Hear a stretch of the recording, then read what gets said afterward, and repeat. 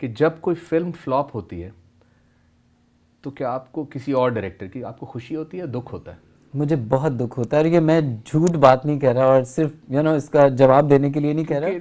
मैं बाकायदा दुआ करता हूँ कि ये फ़िल्म चल अच्छी अच्छी अच्छी हो चल जाए चल जाए। बिकॉज़ अगर पिछले साल में नबील की या मेरी फ़िल्म सक्सेसफुल हुई है सिर्फ़। It's a very disappointing number हमें sad. कम अज कम आठ से दस सक्सेसफुल मेकर्स चाहिए to actually sustain and make a difference internationally. And I'm looking forward this year in 2018 when there are good films coming.